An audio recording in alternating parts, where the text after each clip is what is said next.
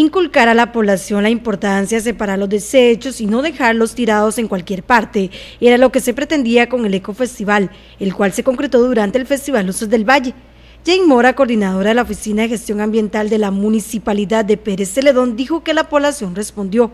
Se colocaron unos 100 estañones durante las diferentes actividades como la iluminación del árbol, el concierto, el tope nocturno, el desfile, las carreras y hasta el quédese en Pérez Celedón el 31 de diciembre se lograron recolectar unas 5 toneladas de desecho reciclable y unas 6 toneladas de basura. Tuvimos gran aceptación de, las personas, por lo menos respetamos eh, que los que, los basureros, por ejemplo, en este caso, o los separadores que se colocaron, se, se ubicaron para que entonces la gente supiera dónde llevar eh, los, los desechos eh, ya fueran de, cartón, fueran de plástico, fueran de aluminio, pero le, tuvimos que darle una, una gran motivación. En el desfile fue donde se requirió más trabajo.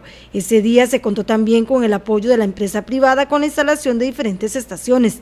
También hubo mucho movimiento para recibir el año. Bueno, se utilizó eh, la gran participación de las de las empresas privadas como las universidades, eh, empresas eh, también que están trabajando por huella carbono neutral, que en este caso participaron como 16 eh, puestos diferentes que fueron por empresas privadas, donde motivaron, cada uno motivó a, la gente que participó en estas actividades. La última que fue el sábado 31, pues tuvimos un puesto donde estuvo ubicado en, aquí en el puro centro del parque, y eh, ahí se tuvo la separación orgánica, se tuvo la separación de cartón y de plástico y de otras cositas ahí que salieron. El 31 de diciembre se recogió también material orgánico. ¿Por qué orgánico? Bueno, muy importante. Tuvimos una repartición de tamales y entonces teníamos que aprovechar esas hojas que también salieron para que no fueran a la basura, sino a la parte orgánica.